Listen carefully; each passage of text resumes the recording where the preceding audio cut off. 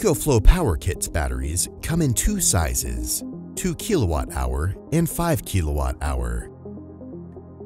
Both types use the safest and most reliable battery chemistry, lithium iron phosphate, otherwise known as LFP.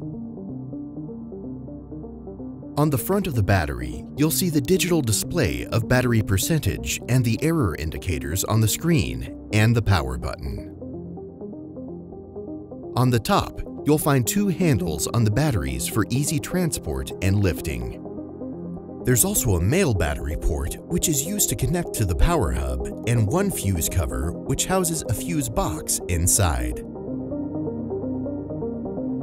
The battery isn't just compatible with power kits, it's also compatible with commercially available 40 volt to 60 volt third-party systems.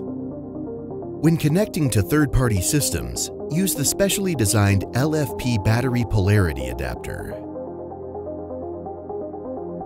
The adapter converts the battery port into two configurable OT terminals and two CAN BUS communication ports. You can then monitor the operating status of each battery by connecting the EcoFlow Power Kit console or EcoFlow wireless communication dongle via the CAN BUS communication ports. That's an overview of the EcoFlow LFP batteries. Need more tutorials? Head to the EcoFlow Support YouTube channel for more.